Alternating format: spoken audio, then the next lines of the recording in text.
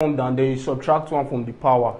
So if this one comes down from your first rule, that if you have ax raised to power n, the n will come down. So this 5 will come down first of all.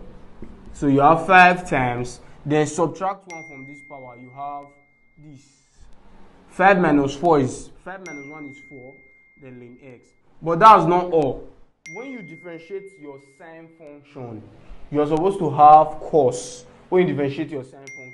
So you have cos, but what is inside this sine is your ln x. And don't also forget that this thing inside this function, you have to still differentiate it. Now when you differentiate ln x, you obtain 1 over x.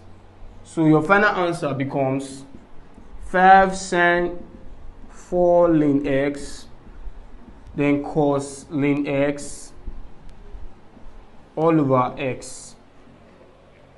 Or let's